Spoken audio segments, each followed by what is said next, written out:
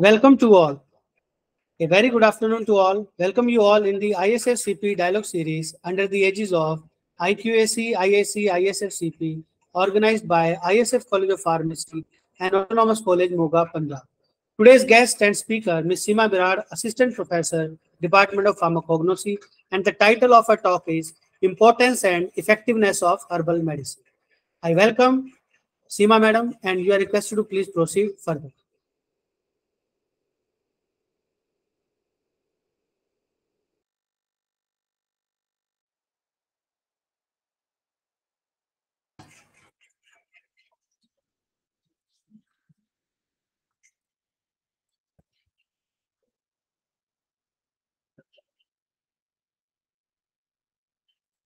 Thank you, Dr. Siddharth Mehan. Myself, Seema Brar, Assistant Professor in the Department of Pharmacognosy. Today, I welcome you all in the ISFCP dialogue series under the aegis of IQAC IIC ISFCP that is organized by ISF College of Pharmacy. So, my today's topic is importance and effectiveness of herbal medicines. So, before starting my lecture, I introduce my table of content. First is introduction, history, scope of herbal medicines, herbs as food supplements, how do herbs work, then medicinal uses of herbal medicines, importance of herbal medicine over conventional medicine, drugs from plant sources, how do herbal medicine sold in stores, and utilization of herbal medicine in future. So first we discuss about the introduction.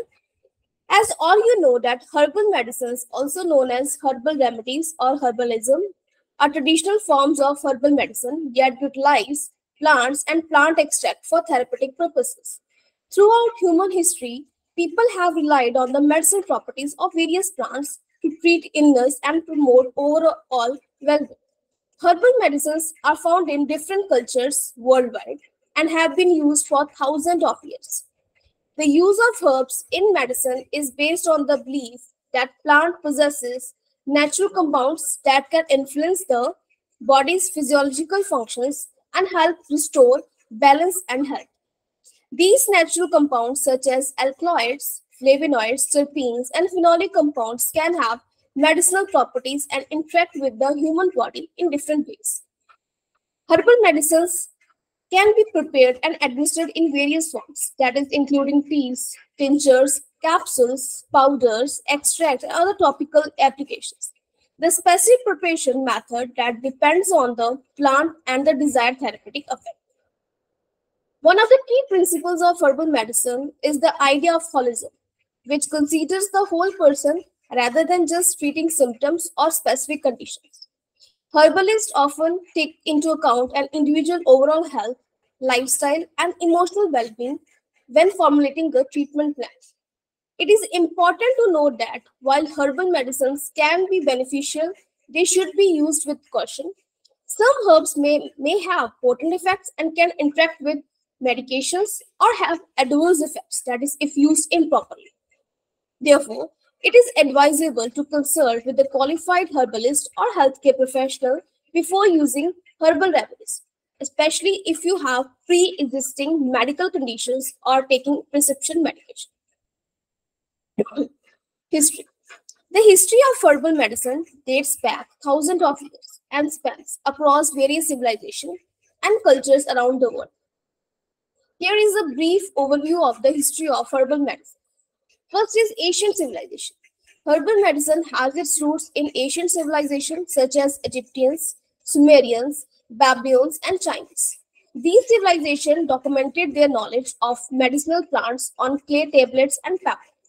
For example, the Ebers Papyrus in ancient Egyptian medical text dating back to around 1500 BCE and contains information on the use of herbs for treating various illnesses. Traditional system of medicine, such as Ayurveda in India and traditional system of medicine, have a rich history of using herbal remedies. Ayurveda, which originated from 5000 years ago, incorporate a vast era of medicinal plants and herbal formulation to restore balance and harmony within the body. TCM dating back over 2500 years employs herbs as a part of holistic approach to health and uses complex herbal formulations that is based on individualized diagnosis.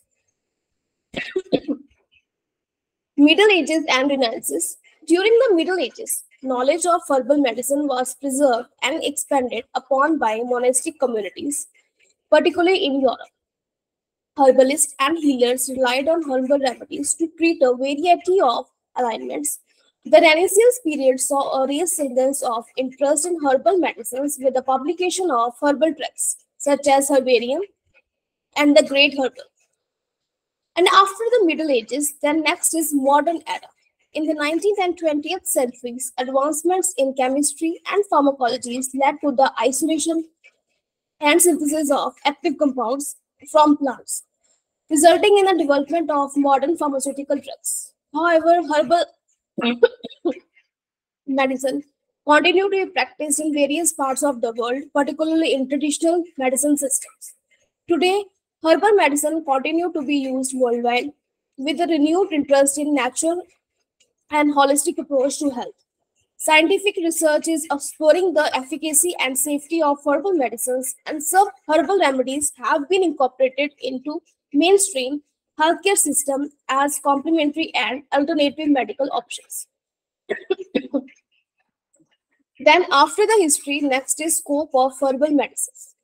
The scope of herbal medicine is broad and encompasses various aspects of healthcare and well-being so here are some key areas where herbal medicine find application. That is first is traditional system medicine. Herbal medicine play an important role in traditional system of medicine worldwide such as Ayurveda, traditional Chinese medicine, Unani and indigenous healing practices. These systems utilize herbs as a part of holistic treatment approaches to address a wide range of health conditions. The next is primary healthcare. Herbal medicines are often used as primary healthcare option, especially in rural and developing areas, where access to conventional medicine may be limited. Herbal remedies can provide relief for common ailments like cold, digestive issues, minor injuries, and skin conditions. The next is complementary and alternative medicine. Herbal medicine are commonly used as complementary or alternative therapies alongside conventional medicine. Many individuals seek herbal remedies for chronic conditions such as arthritis, insomnia, anxiety, menopause to complement their conventional treatment plans. After complementary nutrition supplements, herbal medicines are often incorporated into nutrition supplement. Certain herbs are rich in vitamins, minerals, antioxidant, and other beneficial compounds, making them popular ingredients in natural supplements aimed at promoting overall health and well-being. Next is cosmetic and skincare products. As all you know that herbs are frequently used in cosmetic and skin products nowadays due to their beneficial properties.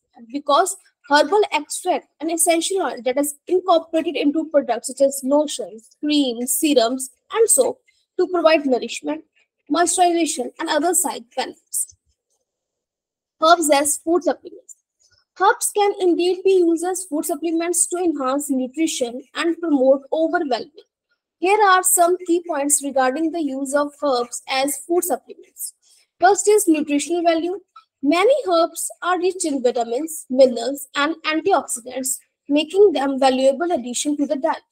For example, herbs like parsley, cilantro, and dill are excellent sources of vitamin C, A, and K, while herbs like thyme and oregano contain significant am amount of iron and calcium, that is including herbs in your meal that can provide additional natural benefits.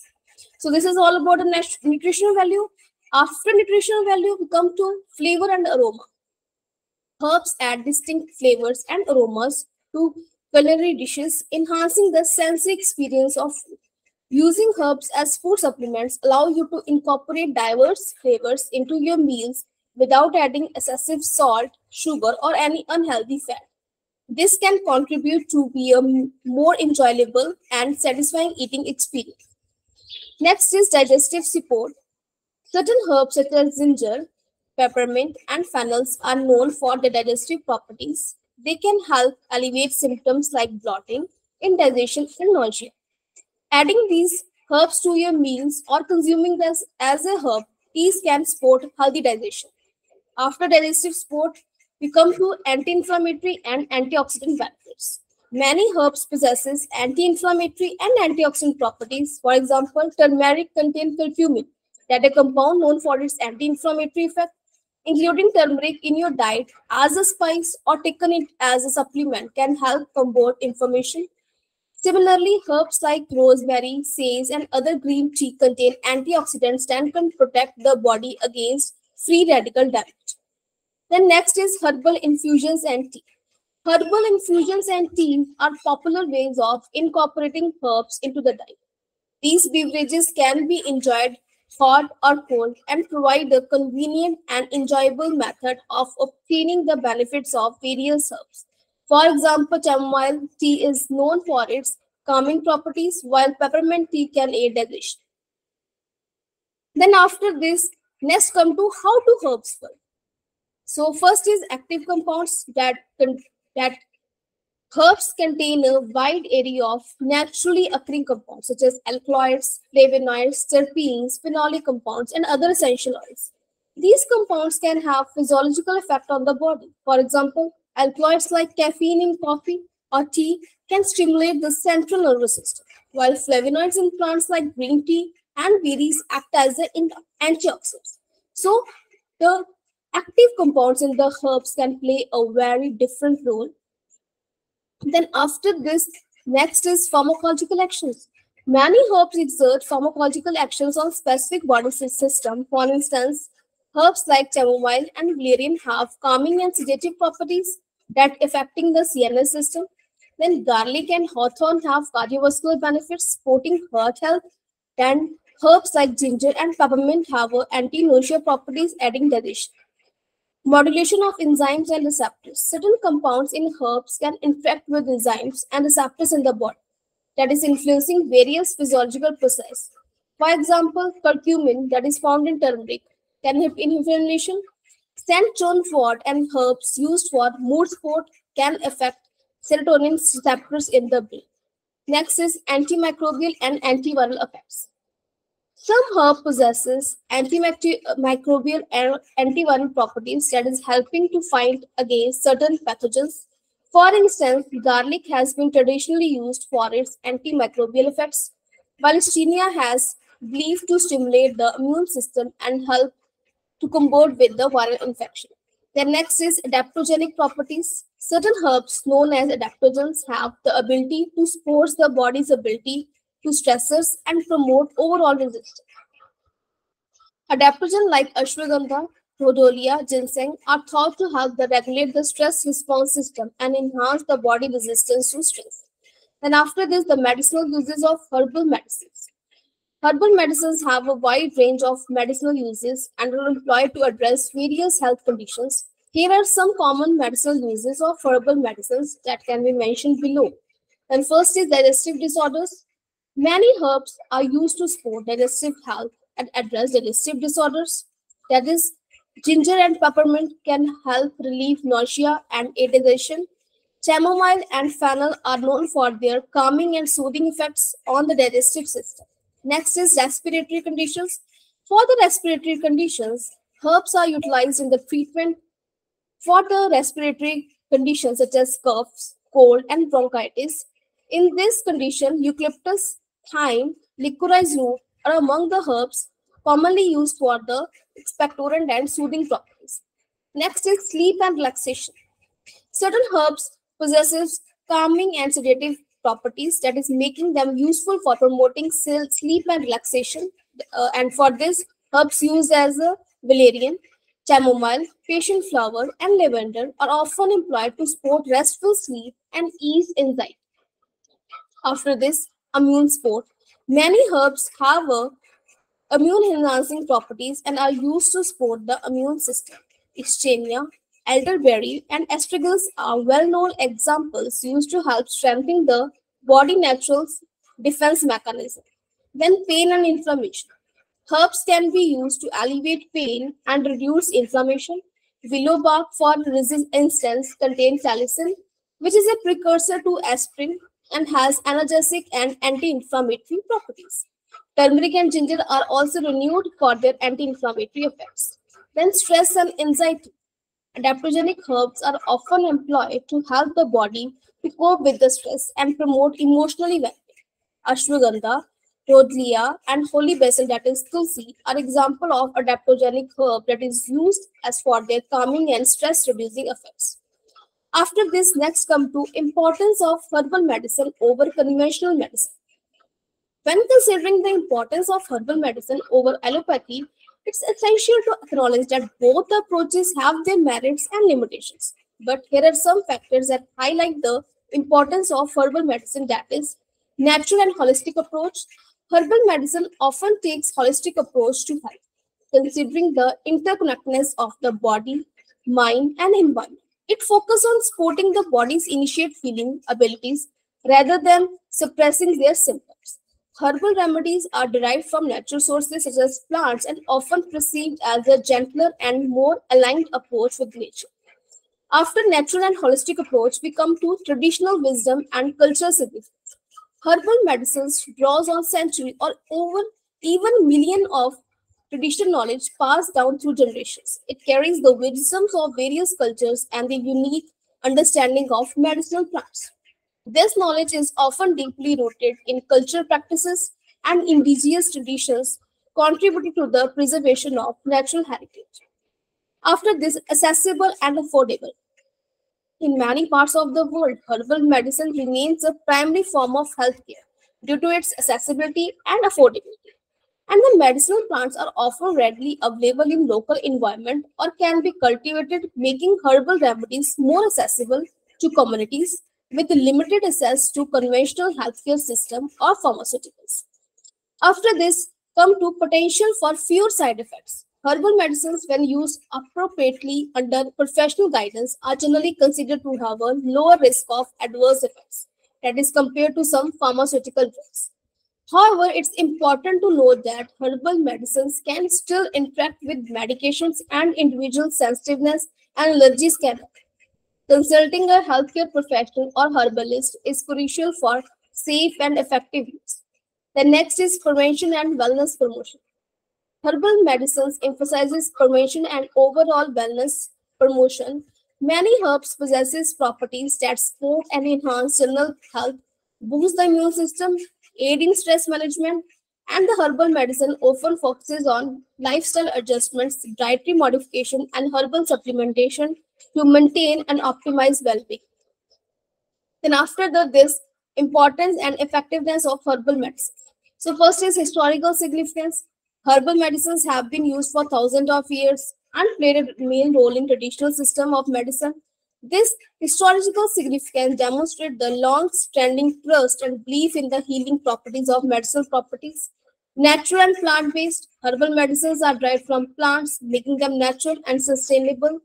Many people appreciate the idea of using remedies that come directly from nature, so they often perceive them as a gentle, holistic, and aligned with the body natural healing process. After this wide range of applications, herbal medicines can be used to address the broad spectrum of healthy conditions. They have been traditionally employed to alleviate symptoms, support various body systems, promote overall well-being, maintain health. The versatility of herbs allows for their use in multiple therapeutic areas. Then active constituents, herbs contain numerous amount of compounds that is alkaloids, flavonoids, phenolic compound, and oils. These compounds exhibit various physiological effects in the body, such as antioxidant, anti-inflammatory, antimicrobial, and immune-enhancing properties. Holistic approach, herbal medicine take a holistic approach to health, considering the interconnectedness of the body, mind, and environment. It aims to address the root causes of health imbalance rather than elevating system promote overall well-being and support the body natural system mechanism. Individualized treatment. Herbal medicines offers the potential for personalized treatment plans. Herbalists consider an individual unique characteristics, symptoms, and overall health status when formulating a herbal remedy. This personalized approach allows for tailored treatment strategies that take into account an individual's specific needs. Next is drugs that is obtained from plant sources. Numerous drugs used in modern medicine are derived from plant sources. These drugs are often isolated, purified, and standardized versions of specific compounds found in plants. Here are a few examples of drugs that originate from plant sources. First is aspirin. Aspirin, a widely used medication for pain relief and reducing inflammation, that was originally derived from a salicin, a compound that is found in the bark of willow trees. Salicin was used in traditional medicine for centuries before it was synthesized into the acetyl salicylic acid compound we know as aspirin. Next digoxin.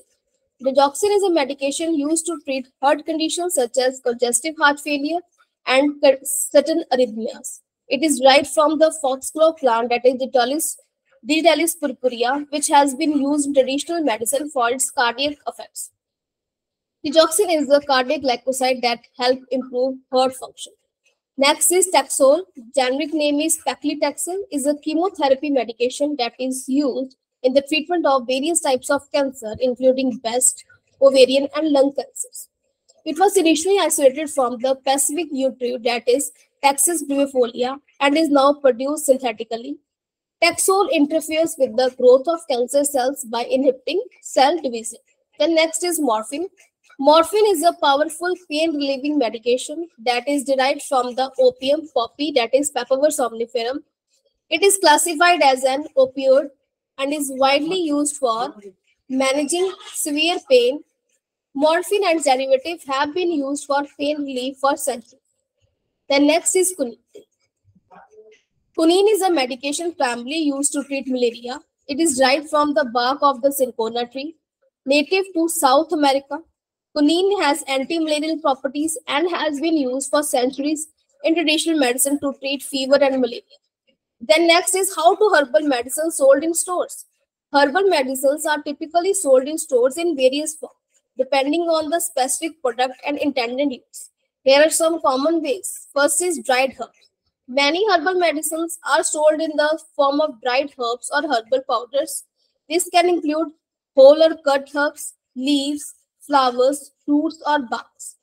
Dried herbs are often packed in bulk or individual portions and may be sold in loose form or pre-packaged in a tea bag or sachets. Next is herbal extract and tinctures. Herbal extract and tinctures are concentrated form of herbal medicines. They are typically made by extracting the active constituent from the plant material using a solvent such as alcohol or water. These extracts are then usually packed in a small bottle with the droppers or spray drops. For easy administration, they can be taken orally or added to the beverages or used topically. Then herbal capsules and tablets. Many herbal medicines are formulated into capsules or tablets for convenient and precise dosing. The herbs are often dried, powdered, and mixed with other ingredients to form the capsules or tablets. These products typically come in standardized dosage and packed in bottles or blister packs. Herbal teas. Herbal teas are a popular form of herbal medicine that involves steeping dried herbs or herbal blends in hot water. They are often sold in pre-packaged tea bags or loose form, allowing individuals to brew their own tea at home. Herbal teas may target specific health conditions or promote general awareness. Next is herbal balms, creams, and ointments. Herbal medicines intended for topical use, such as for skin conditions or muscle aches, are often formulated into balms, creams, and ointments. These products contain herbal extract or infused oils combined with other ingredients for topical application. They are typically packed in jars or tubes. Then next is utilization of herbal medicine in future. The importance and utilization of herbal medicines are expected to continue growing in the future due to several factors. Increasing interest in natural and holistic healthcare. There is a growing global trend towards a natural and holistic approach to healthcare. People are seeking alternative to conventional medicine and interested in therapies that promote overall wellness and address the roots of health imbalance. Herbal medicines, with its focus on natural remedies and holistic principles, aligns well with this shift in healthcare preferences rising awareness of personalized medicine. Personalized medicine, which tailors treatment to individual characters and needs, is gaining recognition and importance. herbal medicines offers the potential for personalized treatment plans based on an individual constitution, symptoms, and specific health concerns. By considering the unique aspects of each person, herbal medicines can provide targeted and individualized care. Next is growing scientific research and evidence. Scientific research on herbal medicine is expanding, providing a deeper and understanding of the mechanism and mechanism of action, safety profiles, and therapeutic potential of various medicinal properties. As more studies are conducted and evidence has accumulated, herbal medicines can gain increased acceptance in conventional healthcare system. Rigorous scientific research will help establish the efficacy and safety of herbal medicine, ensuring that the appropriate integration into a future healthcare practices. The next is sustainable and environmental friendly practice. Herbal medicine is often seen as the most sustainable and environmentally friendly healthcare option compared to the production and disposal of pharmaceutical drugs. The cultivation and harvest of medicinal plants can support ecological conservation effects and the reliance on natural plant resources that promotes a more harmonious relationship with the environment. Thank you so much.